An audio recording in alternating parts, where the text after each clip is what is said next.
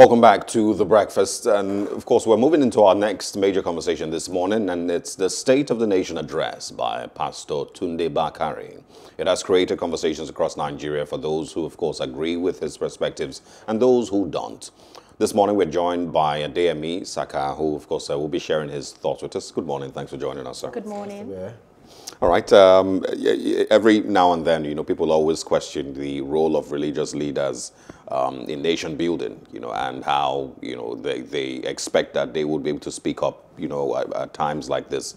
Um, so for you, when Tunde Bakare put out a statement, you know, was it, you know, uh, you know, as always, was it, you know, something that you expected from him? And, or do you also think, you know, along with those people who feel that, um, um, you know, religious leaders should stay completely out of politics. But Mr. Dia, Mr. Ka, I want you to hold your thoughts. Let's, you know, give our viewers a, a sense of what we're talking about here. And we have a video for you, you know, of, you know, Tunde Bakare expressing his thoughts on the state of the nation. We have heard from the Emir of Daura, Alhaji Farouk, Umar Farouk, who lamented that what Nigeria ex is experiencing now is worse than civil war. We have heard from the Sultan of Sokoto, Alhaji Muhammad Hussain Abu Bakr, 3, CFR, who declared that the North is, in his words, the worst place to be in this country because bandits go around in the villages, households, and markets with their AK-47 and nobody's challenging them. We have also heard from the Oni of Ife, Obadiah Eni Togusi, who's speaking on behalf of other Yoruba traditional rulers, including the Alafin of Oyo, Oba Lamidi Adeyemi, and the Awujale, Oba Sikiru Kayode Adetona, cried out to the president over the state of insecurity in the southwest. The lamentations of the royal fathers have been echoed by social cultural groups across the country, including Ohanaeze Ndigbo, the Arewa Consultative Forum, and Afenifere the Northern Elders Forum has gone as far as calling for the resignation of the president. Even governors and lawmakers have joined the lamentations. From one declaration to another, and from one resolution to another, the consensus among the stakeholders is that Nigeria is in a state of emergency. Welcome back uh, to the breakfast, and of course, our conversation uh, analyzing uh, Pastor Tunde Bakare's uh, speech, a State of the Nation address. Uh, Adeyemi Saka, once again, good morning. Thanks for joining us. It's nice to be here. All right. So let's get in, let's get first of all, as brief as possible, your view on religious leaders getting involved in political discussions. Well, before we call it politics, I, when I was, I have some friends of mine and my humble self. We used to like crack the joke that politics started from church. So I don't think it's out of place for religious leaders to have an opinion on issues of, of national importance, which obviously it's, it's politics. Like um, we've seen in the Bible, Samuel uh, going to Saul, telling him God wants you at the point telling him God doesn't want you. So for me, it's nothing wrong. So far it's done in, um, in clear faith, um, clear sense of judgment, uh, with all sincerity, and not you double speaking or playing to the gallery. Talking about double speaking, I'm going to bring in two scenarios. I remember when um, Pastor Godwin Obaseki, is it Obaseki, the other pastor, the opposition pastor in the state, Pastor Ize thank you, want, want, wanted to contest for uh, governorship in Edo State. I remember an interview where he categorically said that God had told him that he was going to be governor of Edo State. Also, concerning this particular situation, we've seen, we've seen lots of people come out to say God told them they're going to be president. We've seen Pastor Tunde Bakare also in this address say that um, God showed him in a vision that Buhari was the solution to Nigeria. God revealed to him that Buhari is going to stabilize Nigeria. But at the end of the day, it seems what, what we see as reality is different from the visions that they seem to have told us. So really, we, these pastors seem to leave us in a confused state as to what they say their religious entity had revealed to them versus the reality. Well, I thank God you said pastors, not God, because uh, my knowledge of God and about God says God is not an author of confusion. And even um, God gives us the free will. It won't force you to do things. He might tell you to do things, but probably won't force you to do things. But I don't think God, in His wisdom that could, and His creativity and ingenuity that created the world and everything that the universe and we're celebrating now, could believe Buhari, Muhammadu Buhari, with his gross incompetence, will be the one that will stabilize Nigeria. I don't think God is that unintelligent. So probably those telling you that God revealed Buhari will stabilize Nigeria to them should probably tell us which God. Because God is God God would not lie. It's in the Bible that God is not son of man that will lie. So why would God tell you Buhari will stabilize Nigeria and what we've seen since 2015 to date is serious instability? So we should probably question the God speaking to them. I, for me, I, there's some things we don't need to drag God into. Um, God has given us the discerning spirit and mind to know what is right and what is wrong. Um, Nigerians chose in 2015, either rightly or wrongly, Muhammadu Buhari. And in 2019, to some of us who believe they were enforced failure. So we laid our beds with tongues, we should bleed in it. All right. I, I, want to read from, you know, uh, Pastor Tunde Bakare. It says here, for many years, Nigeria was in the intensive care unit of the universe. However, six years ago, against timely warnings not to overlook fundamental and underlying conditions as the country prepared for the 2015 elections, her caregivers certified her fit and discharged her. What do you think he, you know, meant in that statement? It's just, uh, it's just Tunde Bakare, like any, like an average Nigerian defending their choice of Muhammadu Buhari, talking tough, if I can use that word, trying to justify the need. I campaigned for Muhammadu Buhari from 2007, 2011, 2015. I was a member of Istanbul Buhari till 2016 that the presidency denounced the group.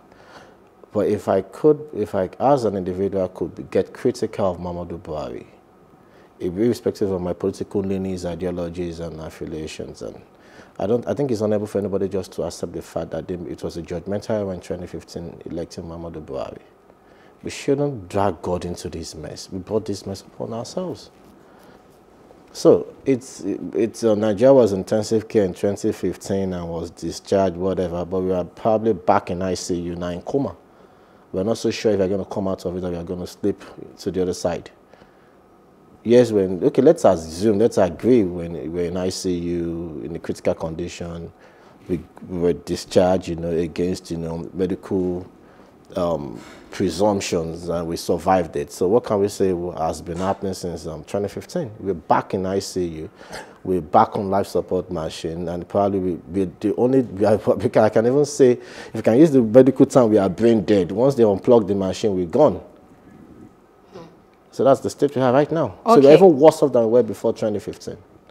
He mentioned as well that he had committed himself to the Buhari administration and his campaign, you know, you know, thinking that a government of himself and Buhari would, you know, re-engineer Nigeria's politics, Nigeria's, you know, economy, uh, social structure, uh, you know, would guarantee security and, and prosperity of the nation. He said, but right now that Buhari's legacy is in grave danger. Does Buhari even have any legacy? Let's ask ourselves these questions. There's a man, maybe until he got back into power in 2015, this is a man, even out of power for so long, or even as an elder statesman, has not given Nigerian a composition like, you know, the composition thing we write in secondary primary school letter anything to his credit. Which legacy are we talking about here? So I mean, legacy as, as a two-time um, head of state, you know, was head of state in in '83, and then of course uh, 2015. Isn't that a, a, legacy? I would um, I smiled because um, to, we, some of us had stories, we grew up with stories and what have you. But if you want to know how disastrous Muhammadu Buhari's administration has been, and how predictable the failure people envisage, I would advise you to go with the cool speech of uh, Major Dogonyaro, Major General Dogonyaro, Brigadier, it was then was a Brigadier Dogonyaro in 1985. Just take away the uh, Supreme Military Council, take away some other things. It's, it's so in sync with what is happening right now. So people say thunder doesn't strike twice. on the same spot, but thunder struck twice in Nigeria. So I don't see any legacy. Well, we, yeah, legacy because it's just you know bad bad governance, clannishness, nepotism, division uh, across the country, um, policies um, not in tune with the economic reality on ground, that, and that's the same thing we're battling with. If you if you if you knew um, from what you're saying about what the 80s were like, um, you just said also that you supported the government in 2015. Yeah. So were you on the same page with Pastor Tunde Bakare back then in 2015? And do you agree that Nigeria was an intensive care unit and uh, the Goodluck Ebele Jonathan administration was leading Nigeria into um, uh, I, my only um, issue with um, former President Goodluck Jonathan, yeah, I've, I've, I've tendered a public apology uh, to him, was not because I didn't like his face, but there was, at the point he needed to be presidential, wasn't presidential. And to some of us, we, we wanted somebody that was going to be in charge of the command and control structure of the armed forces that was sat himself as a commander-in-chief. That's why some of us felt, okay, with the credentials as a general, you can lead the troop. Even your presence will probably show direction. But we just realized that, in fact, now we, some of us are now questioning his credentials as a general. So, a, a, lot of people made the mistake in 2015. My, I was one. A lot of Nigerians did. And we can't be forgiven. Um, General Obasanjo did as well. A lot of the old guys, general supported him. So we committed the judgmental error in 2015. But some of us did not want to reinforce it in 2019. But Nigerians did. Okay, How about uh, calls for restructuring? We've had, had this too many times. He repeated this on Sunday. He, APC campaigned with some major issues, uh, restructuring, state police, and what have you. And six years gone into their into their presidency, administration, or government, and we're still just paying lip service to this. The question is, where is the integrity? And a man touted to be a man of integrity, gave some pronouncements, was part of it, and has not done anything to support it. You start questioning their, their integrity, they don't have it. An APC will not give you restructuring. And you know, there's this, there's this sentiment that some people just believe restructuring is um, balkanization of Nigeria some people believe restructuring, and I think it, I, I, could, I can be speculative here. I think Muhammadu Buhari as a president thinks restructuring is anti-North, Northern Nigeria, which is not.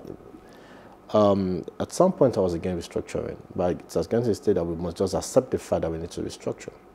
In fact, uh, uh, in Nigeria, I don't know, it is criminal for anybody to be against restructuring because in the northern part of the country, they're still stuck with the criminal penal code. We still find some provisions or probably some sections there that still impose a fine of 30 naira, 80 naira. And in southern Nigeria, we're using the Criminal Justice Act. So somehow, somehow, we've restructured Nigeria.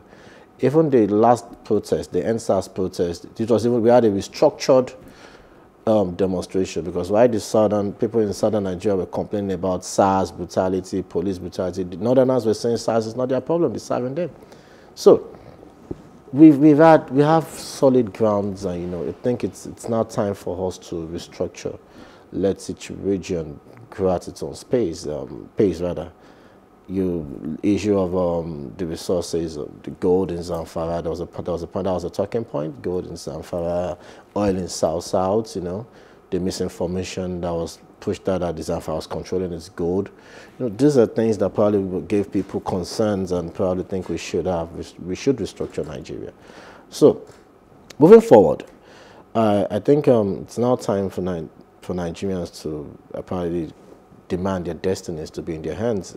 How? Why? I think during the next dispensation, if you want to vote in your members to the National Assembly, you should demand these are the things you want from them. And if they can trick the constitution, because even want to restructure, it's not, it can't come through an executive fiat or a presidential fiat, it has to go through the National Assembly. Um, I want to I want to um, speak still you know from his speech. It says here I am compelled to speak out because the state of the nation does not represent the Buhari I knew when we took that solemn journey towards rebuilding Nigeria, and it was referring to 2011 when he initially ran yeah, alongside President Muhammadu Buhari. Um, but there's a lot of people, and including in 2019 general elections, who believe that he still was the right candidate. He was leading Nigeria in the right direction. And, um, you know, currently there's a protest in the UK, pro-Buhari protests going on in the UK, um, countering, of course, the anti-Buhari protest, um, you know, which started a couple of days ago.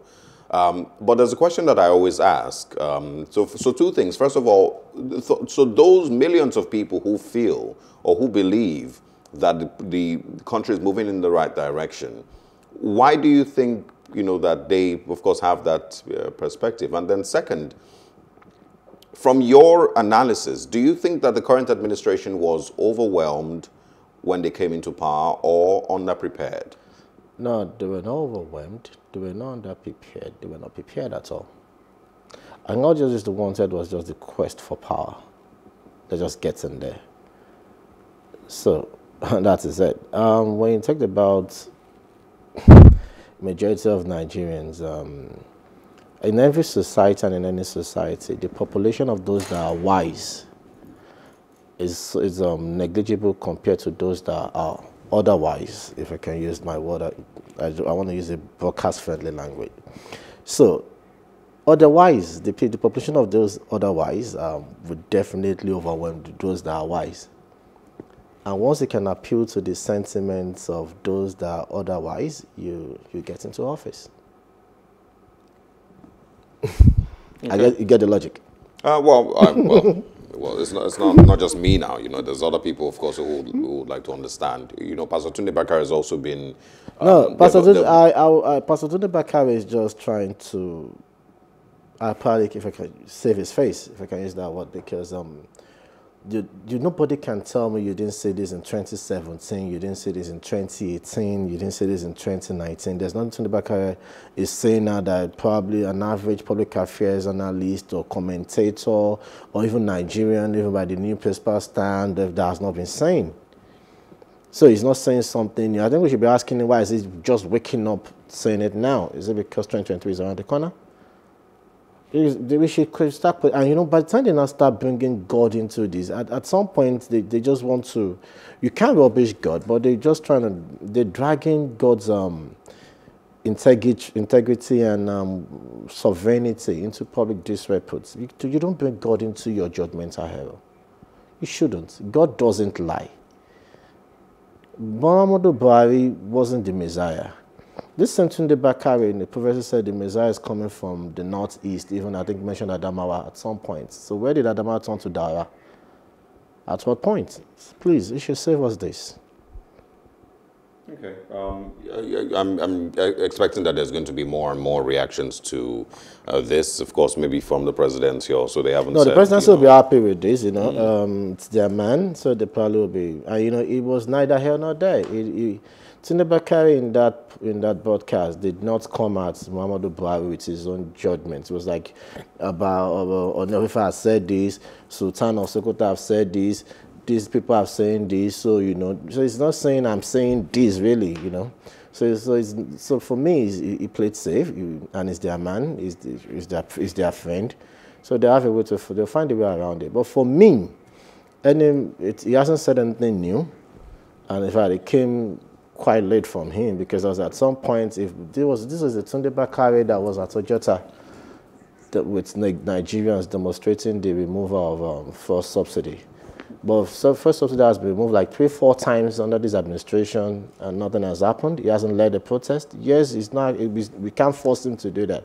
But you should have, your values and your value system should be constant. Shouldn't be changing as opposed to change their clients. So that's it for me. Okay. He also, of course, uh, shared his views on the uh, three cardinal things that the government uh, campaigned with. You know, also spoke about security. Uh, do you agree with his, his views there? Well, uh, I don't know. it's obvious that to, any, to every Nigerian, even if you wake up a 10-year-old kid now tell that Nigeria is not safe. If you look at the fight against corruption and you look at the news you hear here and there, it was just um, pure verbosity and um, good governance. Can you say Nigerians are enjoying good governance? No. So this government, oh, I don't know. I've lost, I won't say I've lost hope or faith in Nigeria, but in this government, no, they're not going to do anything new. Let's just pray, wait, and wait to 2023 and see what he has to offer us. But the Buhari will fight corruption, I don't see that happening. A Jonathan government that was accused, of, Jonathan's government that was accused of corruption sacked Abdurrashid Maina.